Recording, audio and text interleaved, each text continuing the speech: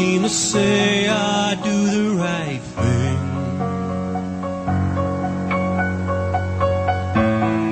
Wanted to be sure you're feeling right. Wanted to be sure we want the same thing.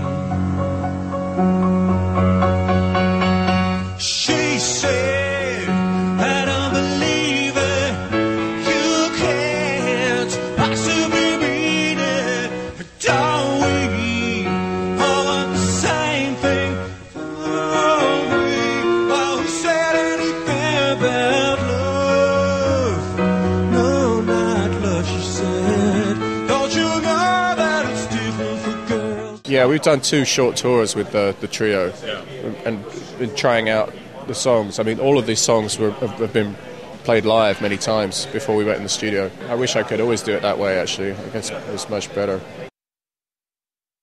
You can't just put in everything. The more, sometimes the more, the more things you add, the, less you can really hear anything. And, and it actually gets smaller instead of bigger, which is a very weird, interesting phenomenon, I think. But, but recently I've been thinking about um, how much you can do with the absolute minimum resources, even just the piano by itself. But I, I feel like there's no point, in, for instance, there's no point adding the bass unless, unless it's contributing another, a different element. I mean, if all it's doing is, is doubling the left hand of the piano, then don't, you know, take it out. You see what I mean? I don't think it really makes any difference where I am. I, I, you know, I just I, I'm going to write anyway, no matter what.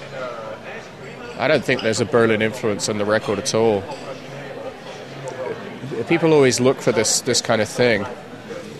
I think it would be very interesting to get a group of people in a room and play them the album without telling them anything about it, and then to ask, okay, where was it recorded? Do you think you would know? I don't think so. But if, I bet you, if I said this album was recorded in, uh, you know, Mexico, someone would say, "Oh yes, I hear, I hear the mariachi influence." No, I left New York because the city changed so much, and I, I really didn't like the way it was changing. Uh, I, I loved it 20 years ago. It was very different then. And I tried living back in England for a while. It's nearly three years I was back in England, and I just found I couldn't settle in England again. I don't really feel comfortable there. Uh, London is not really my city somehow. Uh, I feel more more um, at home in Berlin actually than London. I don't know why. It's a combination of things, I think. But some places to me feel like they're welcoming me with, you know, like open arms, and others are not. I mean, London is, doesn't welcome me somehow. You know, it's it's no fun really. I, I would prefer not to have anything to do with it. But it was something I felt strongly about, and uh, that there are not enough other people speaking out about it. If there were, then I'd be quite happy to just go away and you know keep keep quiet about it. Yeah, yeah, but they don't seem to want to actually do anything about it. Well, there's two sides to it, but one side is much more represented than the other in the media. I mean, one side has all the, the political power and all the money at the moment, so it's not exactly a equal debate. And I just tried to help help it out, really, to try to help it be more equal as much as I can, which is not very much, but uh, you know maybe it helps a bit. That's all I tried to do. They're just like I said, there aren't enough other people doing it. I mean, there are issues uh, involved here that a lot of people haven't thought about yet. They haven't thought about how, how dangerous this trend is, and uh, it, you know about how um, how dishonest the anti-smoking movement is. Uh, there's some very worrying things. Well, I mean, it's it's just a general pattern of um, profiting by fear mongering. You know, by deliberately encouraging fear and exaggerating dangers. There is no question if you really look at the evidence. And the, and the, the worst example of all is this so-called secondhand smoke. And you know, it, I said, I, I don't expect anyone to take my word for it. If you just look at the last page of my essay, there's a huge list of sources you can go to Um, I mean, the fact is, there is no proof whatsoever that anyone has been killed by tobacco smoke in the air. There is no proof at all. There's not one one case that's a proven case.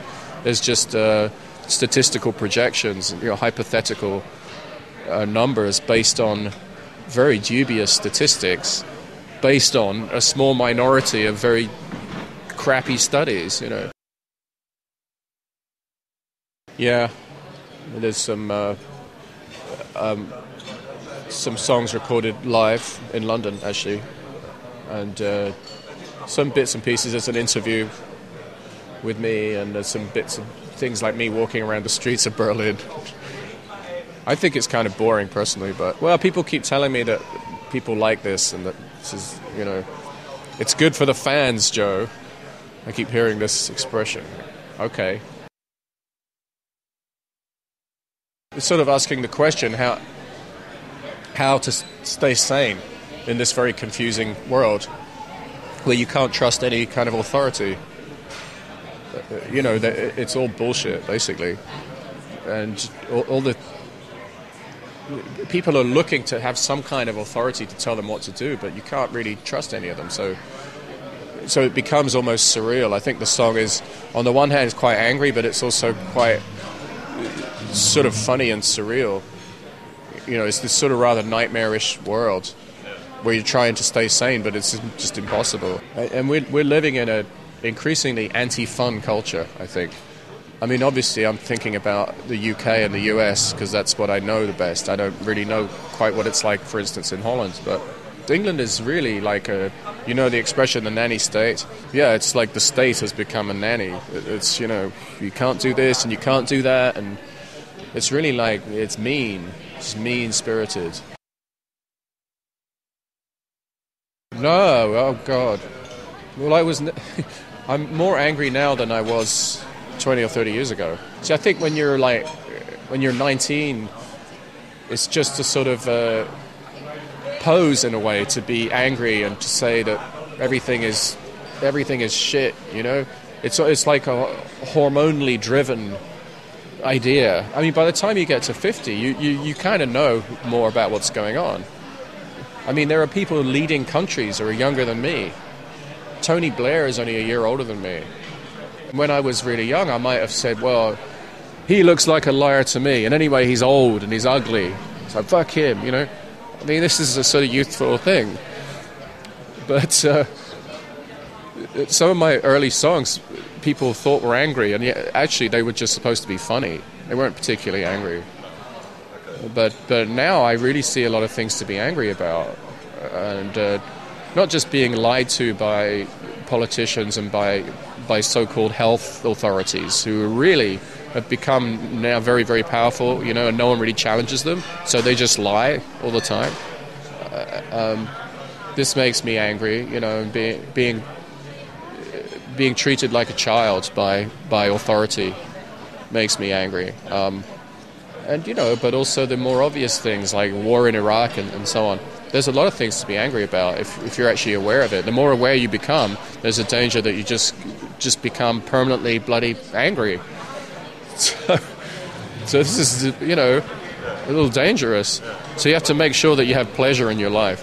And there's also a song on this album called King Pleasure Time, which is about yeah the idea that King Pleasure rules the world, but a lot of people don't know it. This is the problem. Yeah, I hate cynicism, and it, uh, I've always actually been anti-cynical. It actually hurts me when people accuse me of being cynical, because some people can't see the difference, you know, between cynicism and, and you know, genuine anger or, or uh, satire used for a reason. Um, they don't see the difference. You, you know, if I accuse someone of being cynical, sometimes people don't, you know, they don't get it. They think I'm being cynical, but I hate cynicism, and uh, everything I do, I'm trying to be positive in a way. I think it can be positive to be angry or, or, or um, satirical or um, tragedy can be positive. You know, when you when you see a great Shakespeare tragedy, it's actually uplifting in a way. It's like we need that in, in life. I'm not comparing myself to Shakespeare, by the way, but you know, there's a couple of songs on this album that are very, very deeply sad, and I think that there's that, that's healthy.